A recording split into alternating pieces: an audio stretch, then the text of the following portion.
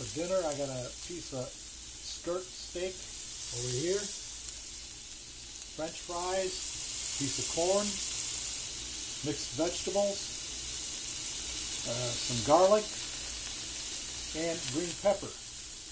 But to this, I am going to add something new that's never been done before. Some canned peaches to go in there.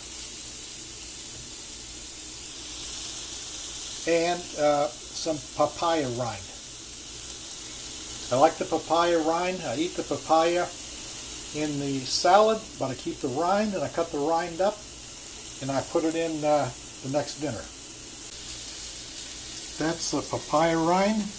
I'm going to cut up and throw it in there. I don't waste anything. And plus it's flavorful.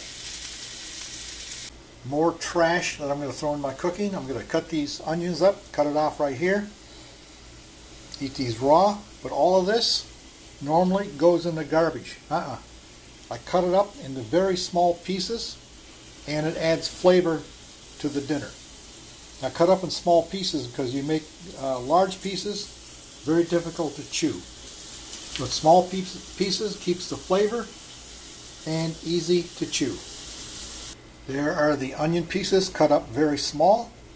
Stuff that you'd normally throw in the garbage goes in with the rest of my cooking. And there it all is with my pieces of peach for sweet flavoring.